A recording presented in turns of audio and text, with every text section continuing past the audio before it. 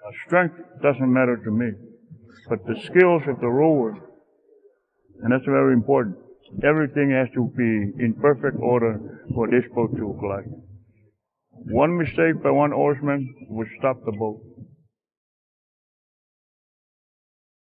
My name is Fu'ega Sa'ite Moliga, and I'm the captain for the Fautasi Matasaua for the Manu'a district, representing Ofu, Olosega, Ta'u Islands. But this boat right here, this is the longest of all of Fautasi in American Samoa, 115 feet. As you can see, maybe this evening there's about 14, 13 Fautasi will be in the water, getting prepared for, for day.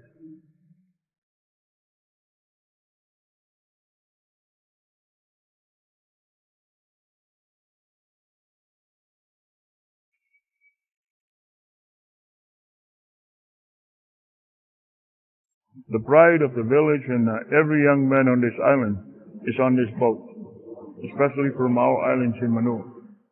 And we, we represent every single soul in Manu'a.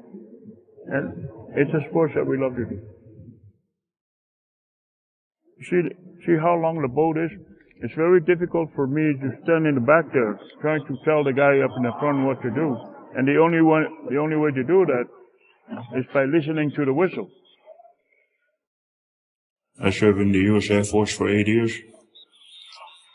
and I was fortunate enough to be selected by my district to do the training for the Fautasi, and also be the leader of the, the boat, training the crew not only on land, but also on the water with the uh. It's not an easy uh, thing to do. The flag day is in April, but usually we start training from December the three o'clock in the morning, starts raining, and then got up maybe six o'clock in the morning, then 4 p.m. on the water. And that's the uh, daily routine. I grew up in the water, in the ocean. And that's why I have a lot of respect for this. With the Fautasi, it's the same spirit. There's a lot to it in taking 50 young men on a long boat to take them out there for a ride. There's a reason why we do that not only showing that we belong to the ocean, you have the courage to lead your young men of your village. Uh, we don't just go out in the water just for fun.